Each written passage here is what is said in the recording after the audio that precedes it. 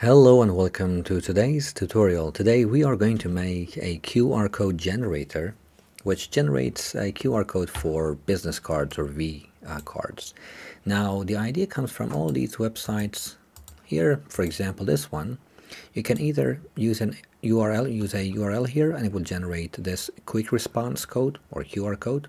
If you scan it you will be referred to the address and you can click on it or some text or some contact. This is what we're going to make today that we provide some information they will generate this QR code for us. Okay now I'm going to uh, use replit.com and this is what we're going to make. Let's see if I run the program. I'm uh, asked to provide a name.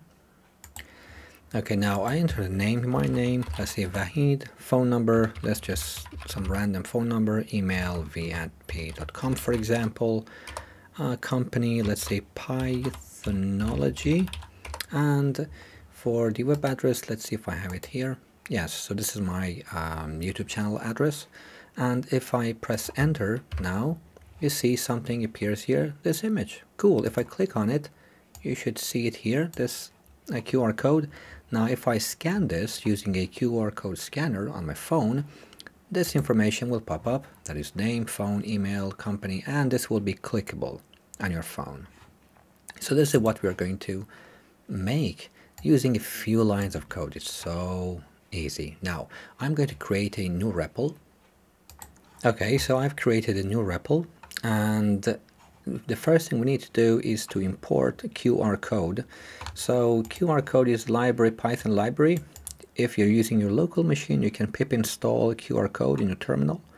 And also Pillow you also need to use um, install pip install pillow or this is the third option and I guess the best option pip install QR code brackets PIL and you will have access to also pillow or PIL for processing images to, to save an image.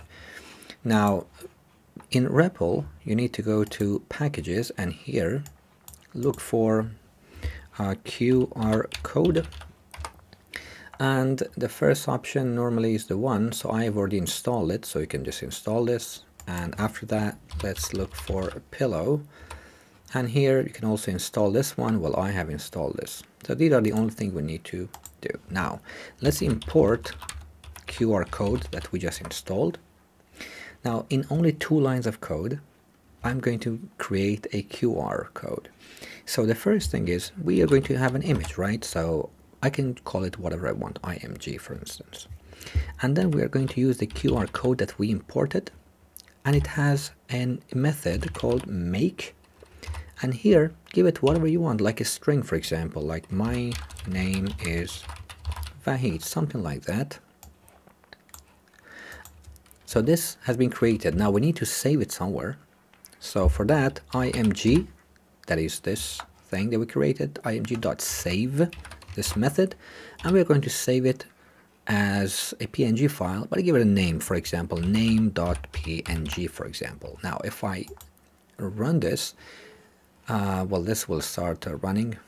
It's going to take a couple seconds, but then we will have an image here. You see name.png. If I click on it, this is the U, uh, the QR code, and if I scan this, you will see something like this, but only name Vahid my, or my name is Vahid, something like that.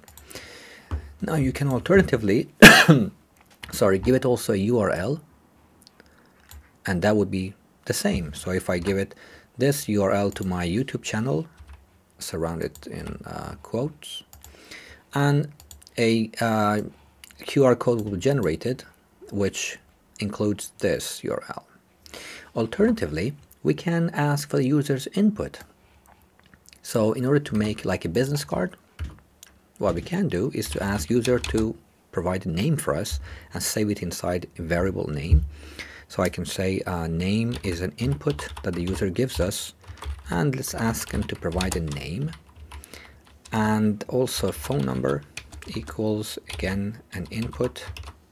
That would be something like okay phone give me your phone.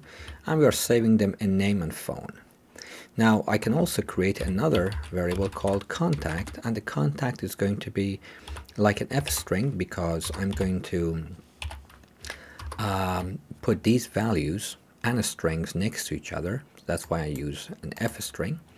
So let's say name equals and I'm going to use the value that the user provides. That's why I'm using curly brackets, which is name. So this is basically this. And then I want this to go to a next line for phone, for example. That's why I use backslash n, it means create a new line. And here, phone is going to be whatever the user inputs, which we saved it in phone now. So the QR code is going to be made using this. So let's just um, copy contact and put it inside this one. Now, the image is going to be made using this information and we saved it into a PNG name. Now let's run this here. Name, let's say Vahid, phone, some random number here. And if we go back and if I scan this I should see exactly this information there so I'm going to actually scan it on my phone let me see okay I've checked then this is correct. This is exactly what appears. Well there is of course um, uppercase N for name instead of this one and phone. Perfect so we have just made a QR code. Very simple that was it. But if we want to add more configurations that is for example changing the size of this or changing the border for example you can see the border is a bit wide maybe if you want it to be closer to the border here you can change that you can change the background color or the color of these as well now let's do that part now which is a bit more lengthy now so instead of this one I'm going to keep actually the name and phone here.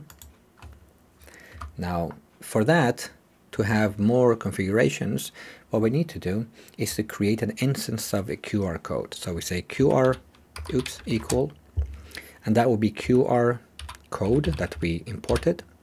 And this has a method, QRC, all in uppercase, ode, QR code. And this has several parameters. Now one of them is version. So version is about the size of it. So it has something between 1 and 40. So the higher the number, the bigger that would be. So let's just go with 1. The next argument is um, box size. That is the size of those small black boxes that you saw. So we are going to set it to, for example, 10.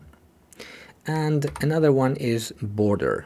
So border equals, let's say, 4. And 4 means, uh, where was that? So here, that is four tiny boxes from the edge. That is one, two, three, and four. So they would be closer to the edge now. And now that we've made uh, this one here, we can also add the data, that is this data, what was that? The contact. Now, after this, let's just say QR that instance that we uh, created, add underscore data, and we are going to add contact to it. So contact is going to be added, that is the name and the phone. And now we can add another thing like to fit the size. Uh, if it is too big, for example, it should fit there. We can say qr.make and we can set the fit to true so that it fits inside that space. And um, then the last thing is to create now this img thing here. So our image, we can say img equals qr, which we uh, created, and dot make underscore image. Now we are going to specify the colors, the background color or the color of the, the boxes here. So we can say fill and that will be the color of the boxes. Let's say black. And now the background color. So back underscore color equals uh, normally people set it to white. You can set it to also red but the combinations are a bit tricky. You can't have every combination you want because that's not normally readable very well. So black and white are the best combinations. So uh, well I'm just going to keep it uh, to red just for the sake of example. And then we're going to save it into uh, this image name. Now if I run this, so let's have the same thing again, Vahid, and this number, and let's go back and see if it's been created. You see, now we have a background color red, and this is all in black. So I'm just going to also check again to make sure this is what you want, or and it is. Yeah, perfect. So we have just created this beautiful uh, QR code generator in two ways. The easy way, in two lines of code, three lines of code, and a bit more uh, complicated one.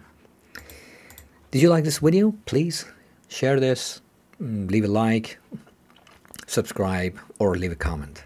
Thank you very much for watching and listening.